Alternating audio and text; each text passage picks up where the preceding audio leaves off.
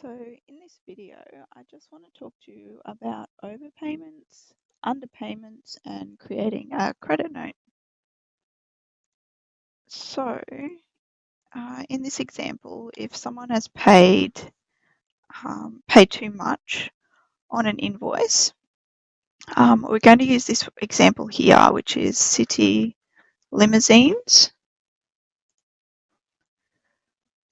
All right, so they've paid $100, but the invoice is actually $99.50.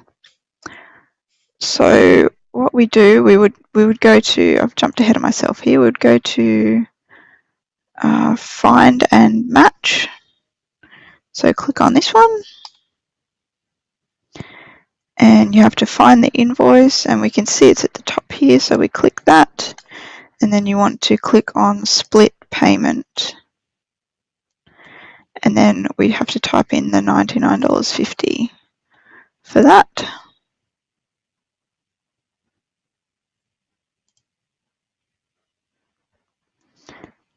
Right, now we can still see that that is out by 50 cents. So we want to add in a new transaction here. And we want it to be a receive money. And up the top here, we want to say received as overpayment. All right, now you can just leave all that as it is, save transaction.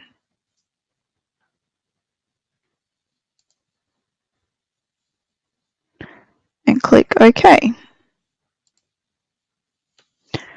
All right, now that that's gone, um, what I always like to do is ensure that that credit is actually sitting in the client's account. So let's search for City Limousines. These guys have some previous action on their account, but you can see that that's been allocated in here. So that's good, that's all worked. So that is what you do if someone has overpaid an invoice and you want to leave the credit sitting on their account for a future invoice. So the next one we'll go into is underpayments. So let's go back to the dashboard.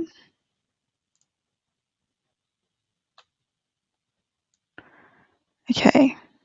I think it's the next page.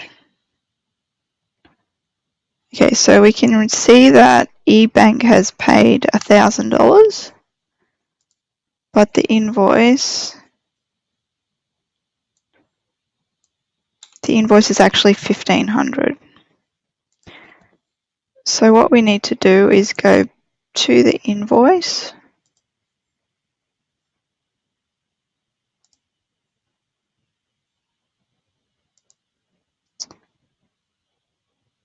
You can see here that you um, can make a payment down the bottom.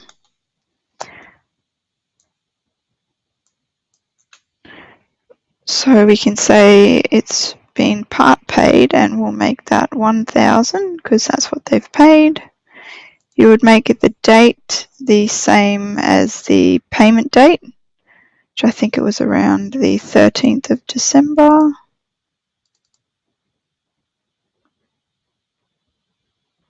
Yeah, you'll always get that warning if the payment was received before the invoice. So as this is a demo, um, yeah, that error is happening, but that's nothing to be concerned about. And then you just want to um, mark it as paid into whichever bank account it was paid into. then the reference you can either leave as blank or you know you might want to put the invoice number or you might want to even say underpaid or part payment. And then you can add a payment. Then we go back to the invoice just to make sure that's all gone through. Alright, so there's still 500 owing on that. But now we can go back into the dashboard and the bank account.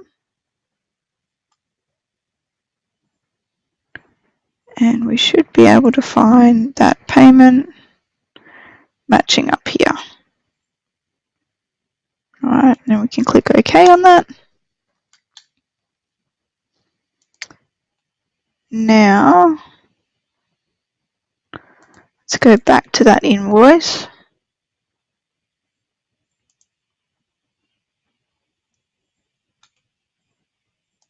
So yeah, they've obviously underpaid it by $500, but it could also be a case of, you know, someone might be paying their invoice off.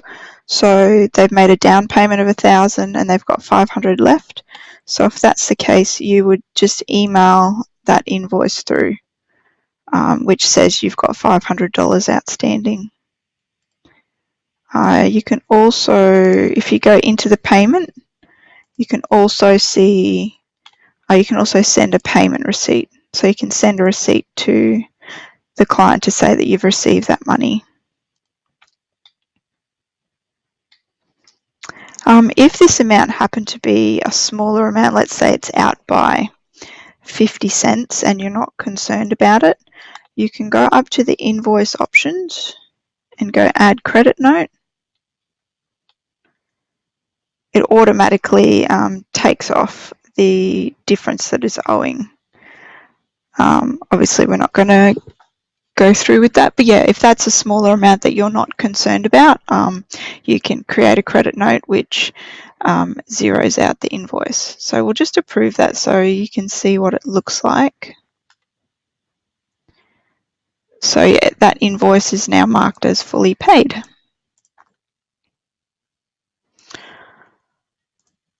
All right, so another thing um, is just creating a credit note straight out. So, um,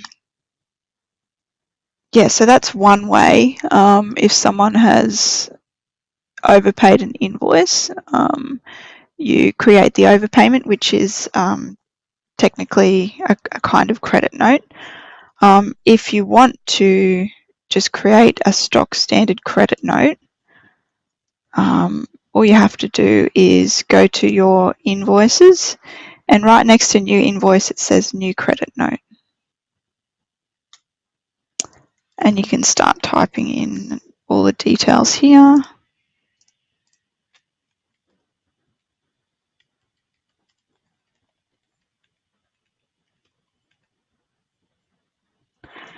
So normally you'd allocate the credit note.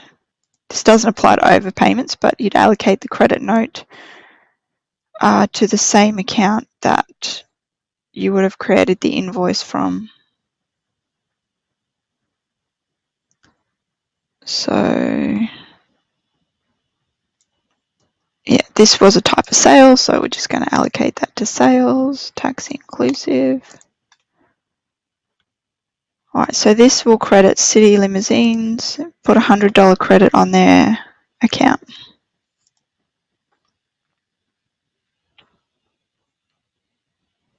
All right, you can see they've got outstanding invoices. So we could apply that credit note to those invoices, but um, yeah, we're not going to do that. Um, you can have the option of a cash refund but I'm just going to show you, you can click that, but I'm just going to show you a different way um, to do a cash refund. So if we go back into the credit note, we go down here and it says make a cash refund. So you fill out all those details in there and then go add refund. And obviously you then go through the steps to transfer the money back to the client. Um, yeah, by doing internet banking. Uh, so I think that is all I need to share with you regarding, yeah, overpaying an invoice, underpaying an invoice, and creating a credit note.